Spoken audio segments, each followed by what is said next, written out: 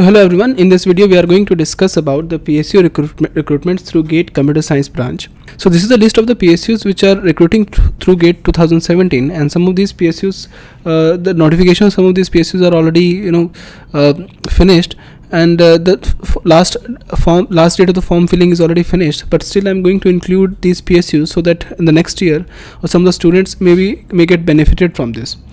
Okay so the, the recruitment uh, which uh, we which came which came till this point of time they are indian oil corporation GAIL that is gas authority of india limited. We have nlc bbnl that is, that is bharat broadband nigam limited. We have nhai national highway authority of india limited. We have B bsnl that is bharat sanchar nigam limited power grid. Wbsedcl we have hpu that is haryana power utilities. Cabinet secretary ongc PSTCL that is Punjab State Transmission Corporation Limited. So we are going to take each of them one by one and we are going to discuss uh, about their salary packages and their the, the dates where you can fill the forms. So the first one is the Indian Oil Corporation Limited. In the Indian Oil Corporation Limited the post name is engineers or you can say engineers officer and the application date was 9th January to the February and I think the application dates are over now so you, you will not be able to fill this form this year but maybe next year you can uh, keep track of this notification. The eligibility for Indian Oil Corporation is you should have at least 65% marks in BTech and the age limit is 26 years as on 30th June 2017. After this Indian Oil Corporation, the next vacancy is for GAIL, that is Gas Authority of India Limited. The post name is Executive Trainee, and the application dates are between 10th of January to 17th of February. The eligibility is at least you should have 65% in your BTech, and the age limit for unreserved, that is the general candidate, is 28, OBC candidate is 31, and SC ST candidate is 33. Next, we have NLC so uh, takes executive trainees. The application dates are between 6th January to 31st of January.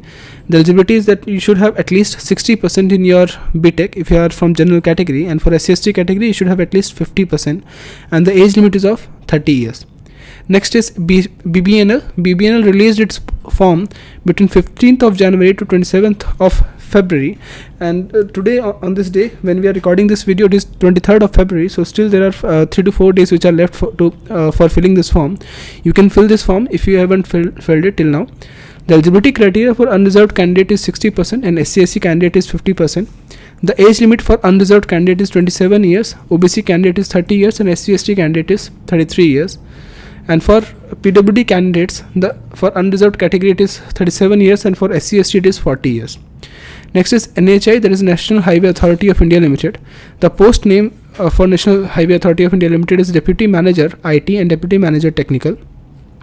Uh, the application date uh, the applications will come in april 2017 so obviously you can keep track of this application uh, take a bookmark if it is possible and the eligibility criteria and age limits they are not they have not released as yet but the number of uh, positions or number of vacancies they have is around 10 next we have bsnl and bsnl is the highest recruiting uh, you can say uh, psu this year because bsnl is going to have vacancies of which is 2510 and these vacancies are also divided into state wise as, as well as center wise so state wise uh, most preferably.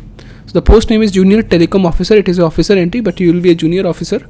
The application dates is 1st january to 31st of january and eligibility and age criteria age limits are not specified as of now next is the power grid. Uh, for power grid the post name is executive trainee. Application date is between 15th of february to 15th of march. So obviously the applications are available so you can apply on power grid. The eligibility criteria is 65% in BTech and the age limit is 28 years for general category, OBC is 31 year and SC it is 33 years. For PWD candidates, the age limit for general category is 38 and OBC it is 41 and SC it is 43. Now for WBSE DCL, the post name is assistant engineer. Application date is january 2017 and eligibility criteria is 65% in your BTech and this is the age uh, criteria which they have already specified. And the number of posts are still it's very good. 96 posts are there. Then we have cabinet secretary position where the post name is senior research officer. The application date eligibility criteria and age of limit it is not specified as of now. Next we have ONGC that is oil and natural gas limited. The post name is graduate trainee the application date will be between march and april of 2017 so this form is still uh, it is still available. So maybe you'll be able to fill this form after watching this video.